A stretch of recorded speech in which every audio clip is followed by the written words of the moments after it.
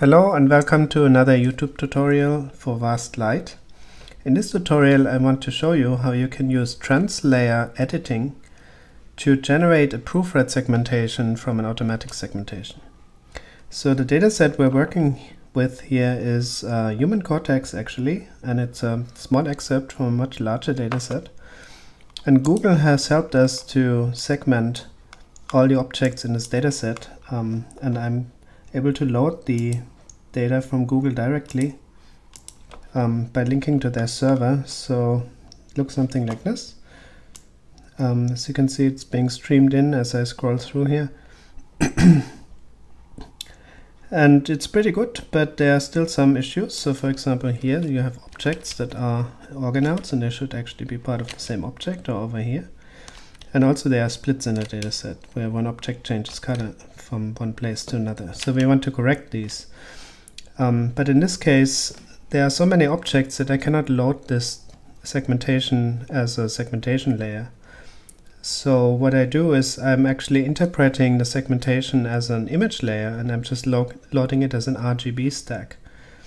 Um, this doesn't have segments, so I cannot actually merge a split like I could if this was a segmentation layer, but I can use it as a source to fill out objects in a separate segmentation layer, and this is what I'm going to demonstrate. So first of all, let's hide this.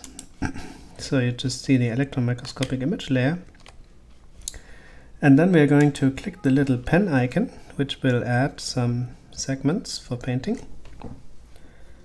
Um, and we can, for example, let's say we're interested in this dendrite here.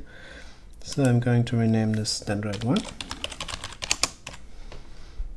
And then, now the question is, how can I fill this out by using the Google segmentation as a constraint? And to do this, um, we're going to use the fill tool. We're going to do this at MIP level 2 in this experiment. So now in, under filling properties here, um, you have the possibility to use a different source layer for the masking, not the same layer. So you could, if you use the same layer, relabel one segment as a different one. But what we want to do is to use the Google segmentation layer as a source layer, and then the method that we're going to use is called autopicked source color. And the um, painting mode should be background. Okay, so now if I just fill one of these objects, what will happen is, let me show you. Um, you see all this object has the same blue color.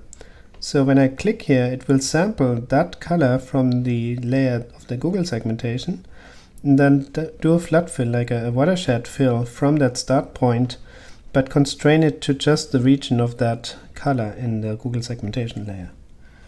So let me switch this off again. So now I'm going to click to fill out this dendrite.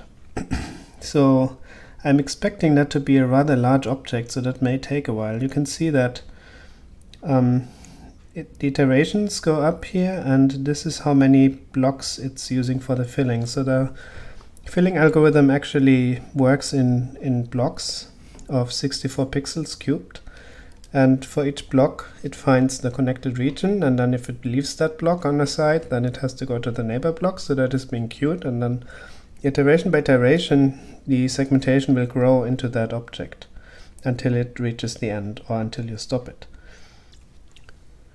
Alright, so this took a while and for dataset reasons I had to switch to a different version of VAST, but um, essentially this is what you get after you fill this out. So it filled all the pixels that had the color in the same color that I clicked at in the segmentation layer as red in my uh, in my own segmentation layer. So now we can go in and, and have a look um, what we got here. So as you can see um, this is a dendrite that has spines on it, but many of these spines are actually incomplete. So for example, you can see one here, that is a spine head that should be part of this dendrite and it isn't fully filled because there's a split error in the segmentation. So to correct the split error in this way of editing, um, you can just use filling again. So this will have a different color in the Google segmentation. As you can see, this is purple. Um, if I click here, it will pick that color and then also label that. region that is connected um, in the same red color that I have selected. So if I click that, now with one click you have the spine head attached. Um, let me zoom in a little bit here.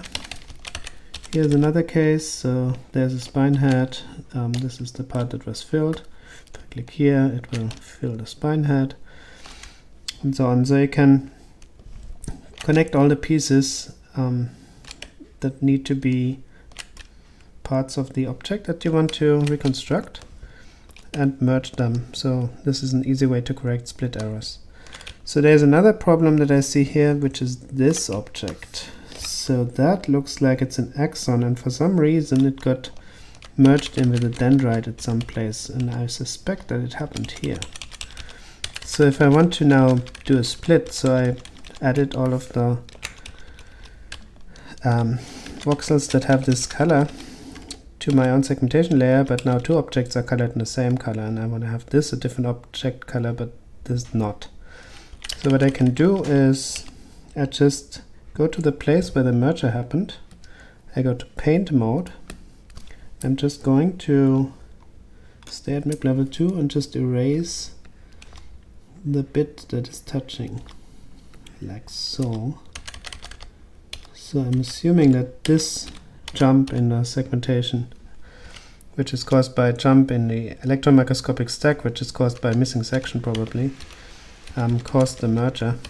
So now since I erased it at that boundary, there's no physical contact anymore. So now I should be able to actually fill this dendrite, uh, sorry, this axon that is now colored in the dendrite color with a different color. So let's use this one, call it axon 1.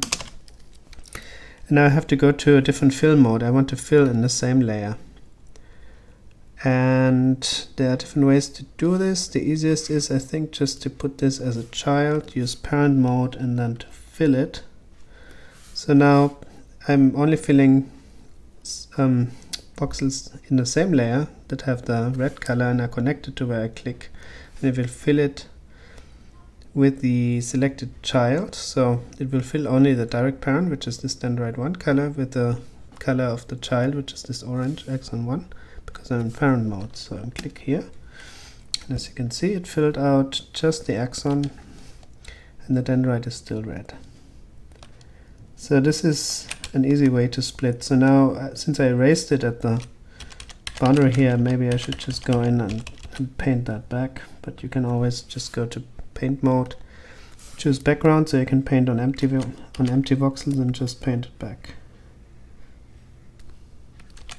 So in this way you can very easily correct splits and merges um, by using painting and filling, uh, especially filling from one layer to another.